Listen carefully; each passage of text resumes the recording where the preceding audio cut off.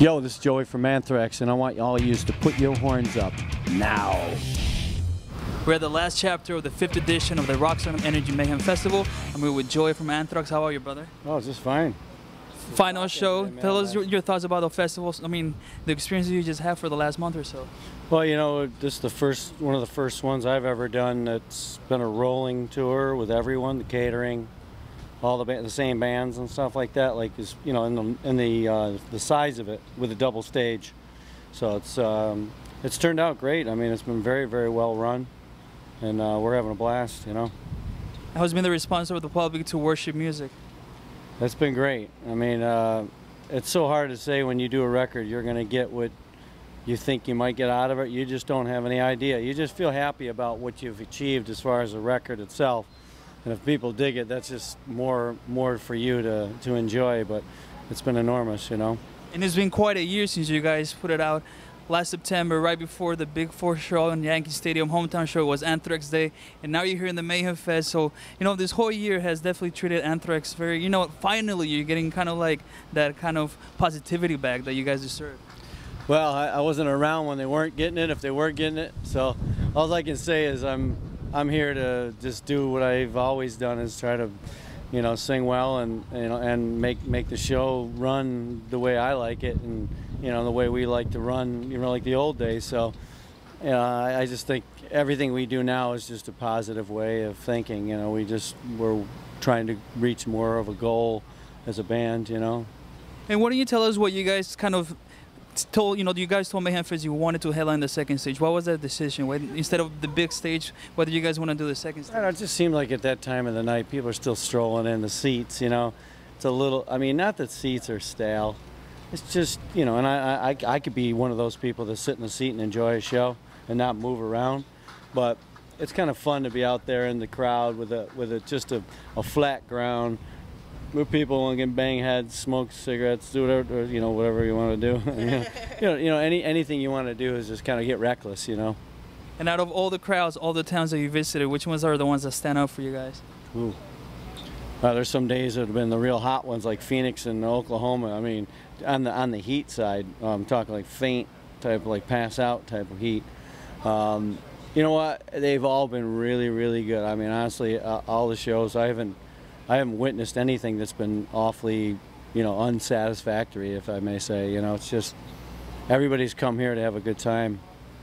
It's like a vacation of metalheads. Yeah, you know, I call I call it the Anthrax barbecue. You know. A lot of friends, and here for the last show of Hartford, Connecticut. What are the expectations for the last show for you guys? Before you kind of, you guys are gonna take a breather, and then you're going back uh, with Testament and Death Angel. So how are your thoughts? How you guys feel right now? Well, you know, everybody's like that wrap up kind of thing, you know, uh, just gather everything that needs to go to the next place. People, you know, engaging to go home and stuff.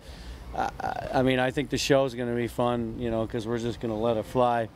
I, I don't think we have anything super planned. You know, 40 minutes goes by so quick. I mean, but I, I just think we're just going to have a good day today and we're just going to have fun and let it roll. How was the decision making of having to cut your set short as you have 40 minutes versus the hour, hour and a half that you guys are used to doing? Oh, that's what we were offered, 40 minutes. We we we didn't no, like suggest that we want to do 40 minutes or more. We didn't. It was set. Here's your here's an offer. You want to play? You want to you know headline or be on the tour?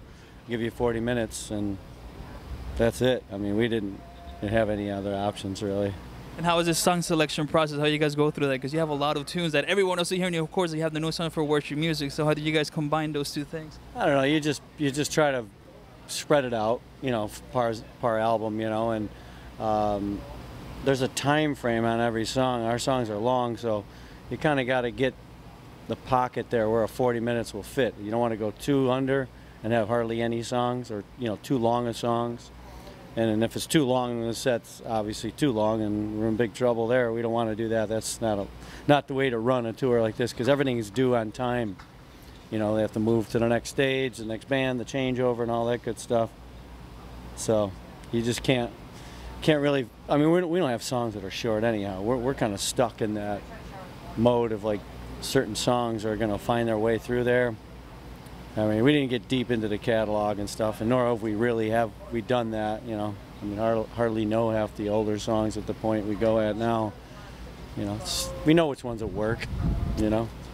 Now let me ask you something because for this tour you have Jason Bittner on the drums with you guys, and obviously not having Charlie on stage is is, is it a different vibe? Is it very different for you guys? You know, it's always different when you got somebody in there that's not in the band. Jason's doing a great job. You know, I mean, uh, we can't can't say enough about how you know we've got along as far as getting the set down, and you know he knows the songs. Um, I haven't seen anything that's been troubling. No one's really had any complaints, you know, that kind of stuff. I mean, we wouldn't offer someone that might not have been able to do the job, you know, of course. So, yeah, it's it's fine. But you know, we miss Charlie, and we we wish he was around. You know. Of course.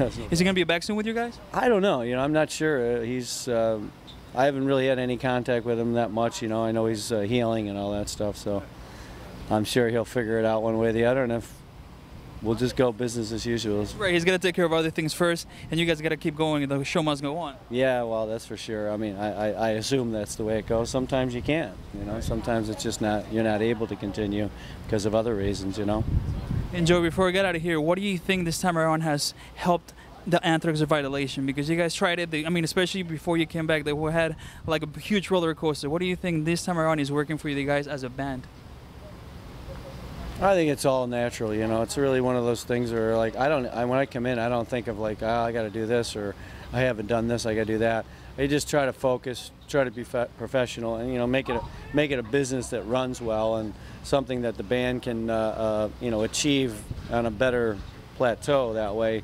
I mean, musically, I mean, we're really in touch, and we haven't really skipped a beat on that kind of thing, and that that certainly helps because I mean, we're not out there fooling around. I mean, we do really pay attention to what we need to do musically. Um, I mean, for me, I don't do anything different really. I just, I just wing it, man. do your thing. Yeah, just wing it. I, I don't want to have fun. I don't want to like worry about where I got to stand, what I got to say. You know, I just like to, I just like to fly. You know. Yeah, you're quite the front man, man. I mean, honestly, like, I think for anybody watching, one thing that is really cool about seeing Anthrax these days is your energy because it's kind of like you kind of never left the band. It's like, oh, you know, as you said, it's very natural. Yeah, it's like I, I didn't have to think of what what I needed to do. I know it's just when I first got into now, it's just this is what I do and this is how I how I like to do it, and I don't think about it. So it's not like every time I go on, I'm like, oh man, I was like, God, I, you know, occasionally a few words might slip my brain, but other than that, I mean, I don't have anything planned really. You know, obviously once things work, I mean, I may kind of do some of the antics in certain sections, but uh, other than that, I, I just just like to go out and you know let it fly. So which ones are the hardest songs as you said that for you vocally singing them? Vocally singing, uh, you know, I mean, some songs are a little faster that are that can get a little, uh, you know, like when you hear when stuff flies by and it's like, oh man, you know, like you miss a spot. But you know, vocally, none of it's really that hard. It's just you know you have to really pay attention to the the, the, the movement of the songs and the, and the volume, so you know what you're doing and know where you're at. You know. All right, Joey, I want to thank you, brother. Thank you. Have an awesome show yeah. tonight and All keep right. rocking, man. Thank you.